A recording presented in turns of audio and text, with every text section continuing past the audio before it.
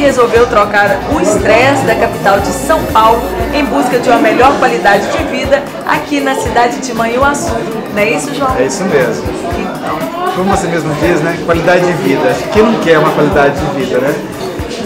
São Paulo é ótimo, uma cidade maravilhosa, acolhedora, mas não é como uma cidade do interior. Somente Minas, né? Aqui em Minas é assim, o povo é acolhedor, né? A gente se sente bem, onde você vai as pessoas te recebem bem. E por que não vir trabalhar para cá? Você uma nova proposta de vida. Depois de 20 anos numa cidade grande, vir para uma cidade do interior é uma coisa assim diferente, realmente. É buscar uma qualidade, saber que você está sendo bem recebido, você está acordando cedo para trabalhar, sem aquele estresse da rotina numa cidade grande. Você sabe que 6 horas da tarde você está tranquilo, você pegar um teu carro, vai para tua casa, sem pegar trânsito. Isso tudo conta, né? Pois é, e você como arquiteto viu essa visão aqui em Manhuaçu?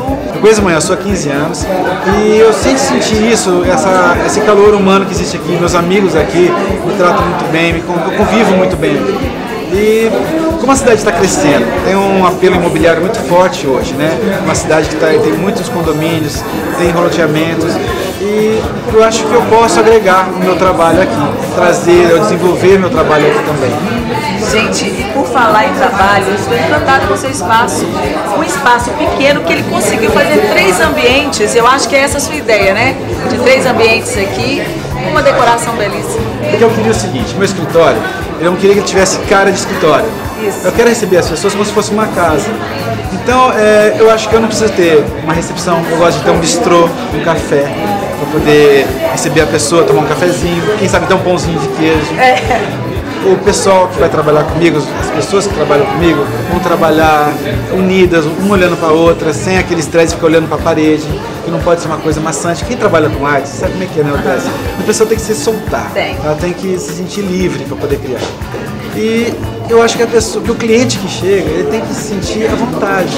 Ele tem que ter um sofá para sentar, uma cadeira bacana, um lugar que ele se sinta bem, uma luz bacana. Acho que isso tudo conta para um, um projeto bacana, um projeto bem desenvolvido.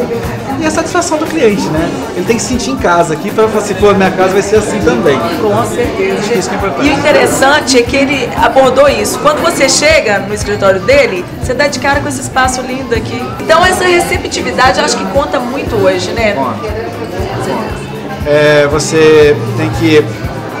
O atendimento ao cliente é uma coisa muito importante. Se você não é bem atendido, você não volta para o lugar. E se o arquiteto não souber decifrar o que o cliente quer, ele também não vai ter uma casa legal. Então, o- o- geralmente a gente trabalha com o arquiteto, ele trabalha com o sonho das pessoas. As pessoas, tem gente que de repente guarda dinheiro a vida toda para construir a casa para a família. Ele quer colocar qualidade de vida para os filhos, co- colocar a família numa situação confortável. E ele quer procurar um profissional que traga isso. E se a gente não, não mostrar isso para ele antes de fazer um projeto, ele não, não vai se sentir bem. Ele pode ter um resultado ruim lá na frente. Então ele te segura ali, no projeto. Estou seguro com o projeto, a minha casa vai, vai, vai ficar legal. Entendeu? Isso, que- isso que, é, que é importante. Gente, o interessante, hoje as famílias estão reunindo mais em casa, você concorda comigo? Concordo. Né, receber os amigos, receber bem, num lugar agradável, que proporcione, gente, momentos maravilhosos.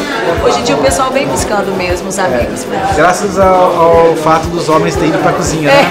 É, eu, eu comentei isso, é verdade. Os homens estão indo para a cozinha, eles querem o espaço gourmet, eles querem o espaço dele, né? E isso faz com que ah, as casas mais dinâmicas, né? Aquele lance de você ter uma churrasqueira no fundo da casa, não, isso não existe mais. Hoje o- a família tem que ter um home bacana, tem que ter uma churrasqueira legal, um espaço para os amigos, isso que conta. Antigamente ficava escondido, gente, era, era como se fosse um quintalzinho mesmo da casa. Hoje não, você chega, a primeira visão que você vem, vê na casa, né? Muitas vezes é o principal espaço da casa, né? O living da casa, a sala de visita antigamente, ela ficou uma coisa mais simples hoje, porque tá todo mundo com espaço gourmet. Com certeza. Isso é uma proposta que algumas pessoas gostam, né? Todo mundo também, né? Vamos generalizar. É. Mas é, é isso que acontece. Mas a maioria, né? Todo mundo está buscando essa qualidade dentro da própria casa, que é o mais importante. Já acostumou com pão de queijo aí, goiabada? Nossa, eu sou viciado em pão de queijo. tá vendo? Já, já aderiu aí Pão de aos queijo com mineiros. goiabada, tudo de bom. tudo de bom, não é? Queijo mineiro.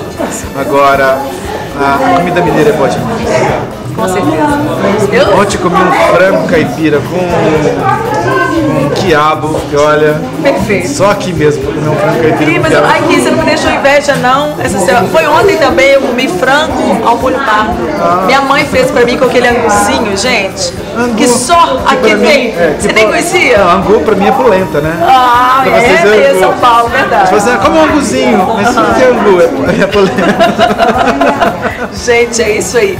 Bom, claro, vocês estão vendo aqui um pouquinho do João, essa simpatia, essa pessoa que veio, claro que agregar, né, não só a cidade de Manhuaçu, como também toda a nossa região leste. Sucesso para você, o que o programa Divas deseja. Seja bem-vindo também. Que bom que você está com a gente. Tá bom? Foi muito bom te conhecer. Sucesso para você.